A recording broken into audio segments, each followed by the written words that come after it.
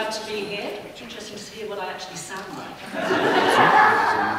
so, um, we're going to be hearing a lot of stories, I think, in these uh, two days here about the realities of the profession and what the industry holds for a lot of performing artists, positive and negative. And I just thought I wanted to provide maybe a little bit of context for that and perhaps to sort of pop the hood on who these performers are and what their mindset is. And, and it's so related to what Nancy was, was talking about in terms of the, the training environment that we're brought up in. Most artists are training from a very young age, and so their emotional development is actually happening around the training environment, which has a huge influence.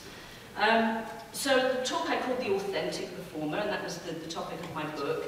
And authenticity in performance is kind of something that people strive for, that as a, a dancer you want to authentically embody the choreographer's work, as an actor you want to give an authentic portrayal of a character or an emotion, uh, as a musician you want to give a, an authentic performance of a composer's work. So performers are very often diving into these different emotional contexts and these different characters and different places. But do they really have such a thorough understanding of their authentic selves, who they are underneath? I grew up in a family of performing artists. Most of our family friends were performing artists. I went to a full-time theatre art school from the age of seven, surrounded with my peer group of performing artists. I know this breed very well.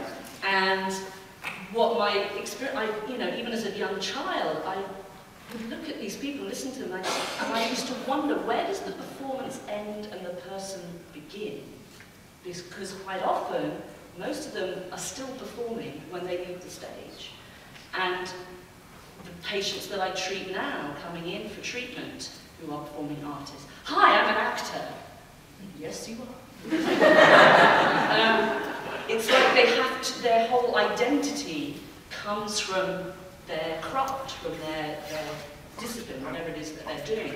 And I really want to know who's the person underneath this, because as an osteopath working with them, I feel like I can't get in touch with them and their health when I'm, I'm treating a mask, essentially. So I wanted to understand a little bit more about that and what's going on.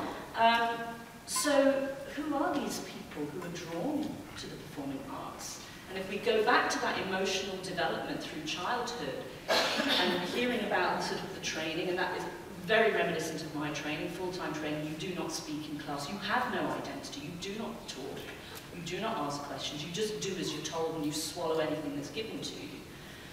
So your whole identity, your sense of worth is contingent upon your success, contingent upon pulling off that turn, contingent upon hitting that note. And you don't necessarily you're not necessarily afforded the opportunity to develop a real sense of your own identity and, who you're, and your own sense of value without all of that. So we're essentially looking at a vulnerable population here. And if we also look at uh, creativity and what makes someone create, creative, it's not an accident.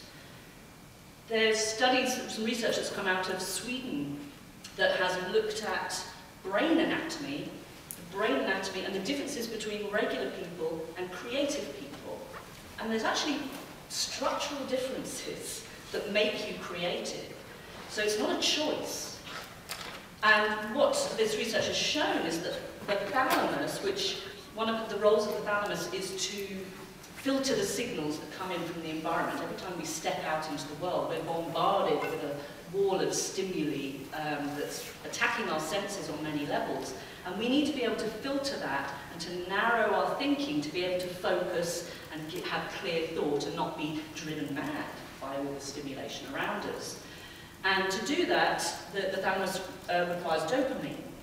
And it has receptors, they're called D2 receptors, that are able to bring in that dopamine and help with this filtration system. And it's been shown that creative people, and by definition creative people are those who have divergent thinking. They think outside the box rather than the convergent thinking that's more narrow. That those people actually have fewer receptors for dopamine on the thalamus. So they're less able to filter the crazy. It's just in their, uh, they're just being stimulated all the time. They're hypersensitive to it. And it's a noisy place to live. I call it the mind monkeys. And trying to train those mind monkeys is, is difficult and to try and keep sort of narrow thought. So we're looking at a hypersensitive population and we're looking at a dopamine hungry population.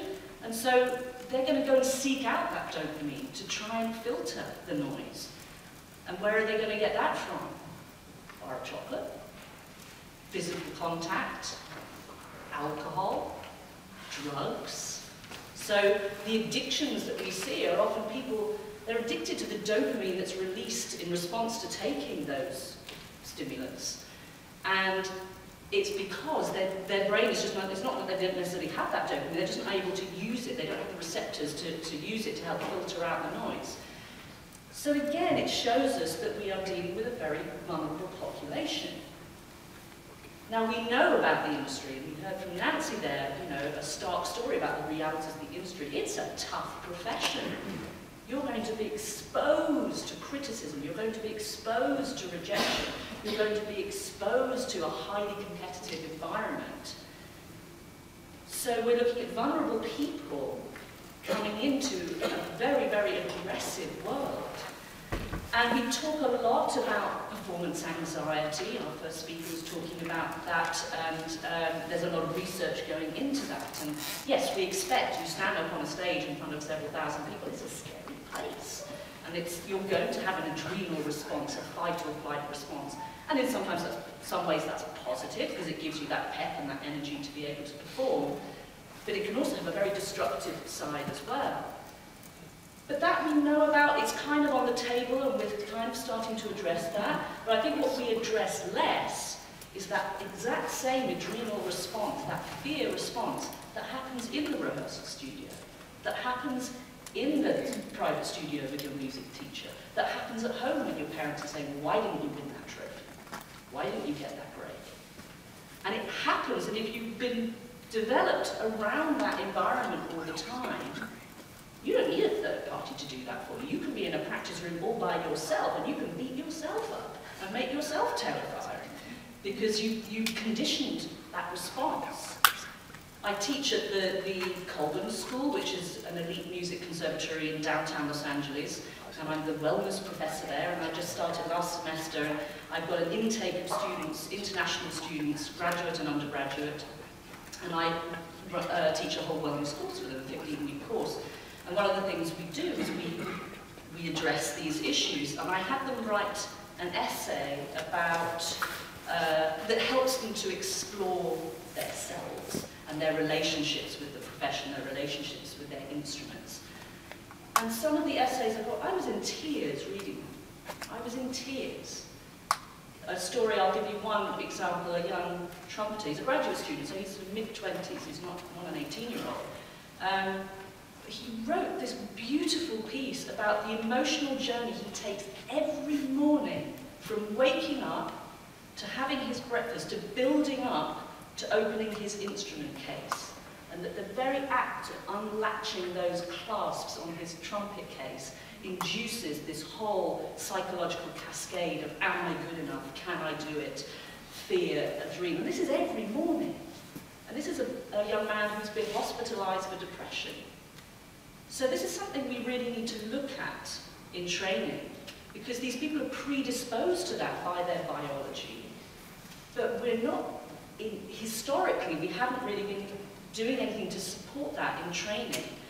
So the training has often been, well, this is a tough profession. You're going to have to be tough to withstand it. So we're going to train you to do that by being really tough on you. And we're going to whip you until you bleed so that, metaphorically speaking, being painted on his feet not necessarily metaphorical, um, in order to make you tough enough to withstand it, survival of the fittest, right? But does endless competition breed a good competitor? Does endless rejection breed someone who is resilient to rejection? And the answer is no, absolutely not. And the psychological literature around talent development in, in uh, our young, uh, a lot of that comes out of the sports world, in developing young, talented sports people, is the one thing that you need to be able to withstand a highly competitive and highly um, uh, a, a profession that's, that's uh, has a high level of rejection in it, the one thing you need is self-esteem. You need a good sense of self, a good strong sense of identity. You need to be intrinsically motivated to succeed for that joy, that spirit, not through a fear of failure. And when you uh, consistently undermine someone's confidence and make their whole self-value contingent upon them being good at what they do, rather than just being a good human being, then what you create is obsessive-compulsive perfectionists with a crushing fear of failure. That's me, and that's how I was trained. That was the environment I grew up in. And so it's not then just related to the arts. You, you're then, you, you have that same response to so many things. We were looking last night at the, the app and thinking, oh, this is really good for the, the, the, the conference, this app. And then I clicked on my uh, speech for today, my talk for today, and it had a comments box. Adrenal system, criticism, rejection. I'm going to see people's thoughts, so be gentle. but it's just a, condition, you know, I can rationalize myself out of it, but I'm conditioned to respond that way. So we have a really strong duty of care here. We have a huge responsibility in training these young individuals in ensuring that we're not undermining their self-confidence, that we're not undermining their ability to build self-esteem, because that's what's going to save them. And what we know about you know, living in a hyperadrenal state all the time, is very destructive physiologically. We know through the PNI, psychoneuroimmunology system, that our thoughts and emotions have a direct influence on our biology. And in a, in a developing child, it actually has a direct influence on how one's uh, biology and physiology develops. And we're talking here about, in, in the main, the immune system, because that's our defense system. So if you are constantly defending yourself because you're always under attack, then the defense system can become hyperactive. That leads to inflammatory chemicals being released. So a lot of the musculoskeletal injuries that we see in this population, yes, there are repetitive loading elements from playing instruments and from dancing, but there are also the psychological elements that are feeding that. They're dialing up the volume on the pain, they're dialing up the volume on the inflammation. But are we really addressing that if you are working in a musculoskeletal clinic treating these issues? So we have to look at the big picture. And I certainly found as an osteopath treating performing artists that for musculoskeletal injuries in the main, they became counselling sessions. And actually, the, the results that I got were probably 75% what I said and 25% what I did, because if I couldn't get their head into the right place, I can't get the body to go with it. And it comes back to the defense system comes up, you're treating a mask, you're not treating the real person, and there's a barrier there. So my call to action is that if you are a healthcare practitioner, that you address these elements if you aren't already, but also that you help educators, if you have access to educators, help them to understand this. And we have worked through, uh, PAMA has worked with NASM, National Associations of Schools of Music, to develop healthy practice guidelines for education now. And uh, this is part of their accreditation process. They have to comply with these and provide that information, and they, or else they don't get accredited. But there's still a lot of room for interpretation amongst that, and if they don't have the skill set amongst the, the existing faculty, then it's not necessarily going to be uh, delivered in, in quite as good a way. So we need to build these bridges between the healthcare practitioners, physical and psychological practitioners, and the educators to make sure that we all understand that these issues need to be addressed and understand how that can be implemented in, a, in an educational setting. Because if we're going to achieve authentic performance safe, safely and healthfully, it has to come from having a sense of one's authentic, true self first. So we need to train them to be human beings first and performers second. So thank you very much.